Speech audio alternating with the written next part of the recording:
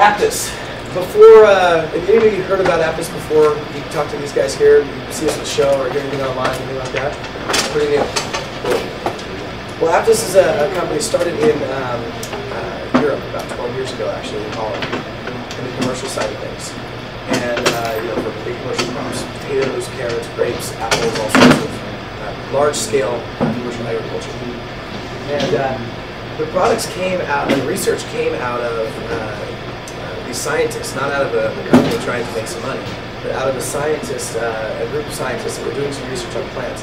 They realized there were some real issues with agriculture. You know, if you go look out, we were driving by cornfields last week, and uh, it's kind of sad. They're all dead, you know, brown and nasty looking.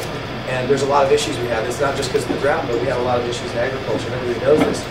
And these scientists said, hey, there's some real issues. How do we fix these problems? As they started doing the research and they looked at this modern agriculture called NPK agriculture, they realized that it's not working. And there was the promise of this working back in the 50s, you know, and when all the soldiers came back from World War II and everything was over, and these chemical companies had all this surplus of bomb-making materials, nitrates and phosphates and stuff. They said, well, you know, the plants need NPK, and we've got all this surplus of all these, you know, big industrial materials. Let's turn it into fertilizer. So they started fertilizing. The promise was that we're going to get faster growth, bigger yields, etc. We're going to be able to feed America. And it worked for a very short period of time. The problem is, is when you use things like nitrates, overuse of nitrates, it creates a natural growth in a plant. Plants do use nitrates, but it does something really interesting.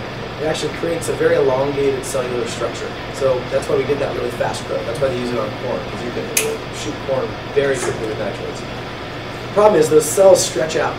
And, and as they stretch out and become elongated, they, uh, the cell walls become very thin. And so it makes them a lot more susceptible to pest attacks. So we're feeding these chemicals, makes a weak plant. So the same companies go, ah, there's really a big problem going on here, what do we do? They said, well, we got these other stockpiles of chemicals that we used to kill a bunch of people and soldiers in the war.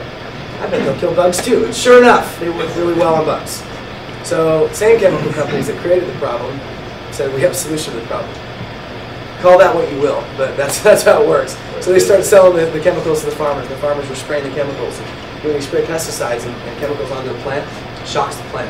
The plant shocked, its immune system stops, which makes it more susceptible to disease. And the cycle begins all over, right? And so this has gone on for the last 50, 60, 70 years or so. And it's created a real lot of problems that we have food that you know, wastes 30% of our food to rot from farm to fork, at least. And uh, a lot of that's because there's no shelf life on the nutrition in food. And a lot of pest problems. We got all this controversy with organics. I think you guys read this report that just came out from Stanford, the news study. It's been all over the radio, the news. Stanford came out with a study. And they said, is it more nutritious to eat organic food or conventional food? What's the difference? And Stanford came out and said, you can't find any difference. There's no benefit, no nutritional benefit to eating organic food. And so it's causing uproar. Go Google it, it's all over the place right now. People are bitching back and forth at each other. But one thing that they did say, in spite of that, is they said, but it is better to eat organic because uh, pesticide residue. Yeah, they said even if you don't care about the nutrition, that's a big deal. So it is a real big problem. We're creating a lot of disease in our bodies, and you know everything we are as a human race is because of the food that we eat. And we've really got a big problem with this. And I don't care what you're growing, the same principles apply. We're looking for better yields. We're looking for better quality.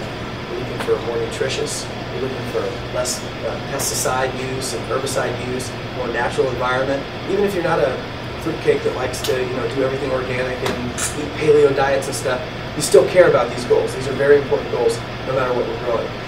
And so these scientists saw this problem and they said, we need to fix this. And so as they started researching this, they realized that nature actually figured out some pretty cool stuff. And nature already built into plants and all this ecosystem in the soil and everything, ways to fix all these problems. And if we just use our modern understanding of agriculture and farming and soil biology and stuff, and get rid of the synthetic garbage, we can actually still get the yields and still get the quality. Same goals we had back in the 50s, but we can do it in a natural way and we can make ourselves healthier and our, you know, eventually our world and our life and society and everything better.